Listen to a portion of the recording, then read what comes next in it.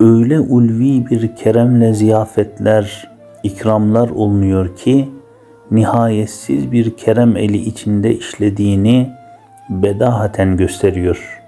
Mesela bahar mevsiminde cennet hurileri tarzında bütün ağaçları sündüs misal libaslar ile giydirip çiçek ve meyvelerin murahsaatıyla süslendirip hizmetkar ederek onların latif elleri olan dallarıyla çeşit çeşit en tatlı, en musanna meyveleri bize takdim etmek ne kadar cemil bir kerem, ne kadar latif bir rahmet eseri olduğu bedaheten anlaşılır.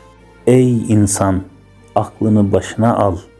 Hiç mümkün müdür ki bütün enva mahlukatı sana müteveccihen muavenet ellerini uzattıran ve senin hacetlerine lebbeyk dedirten Zat-ı Zülcelal seni bilmesin, tanımasın, görmesin.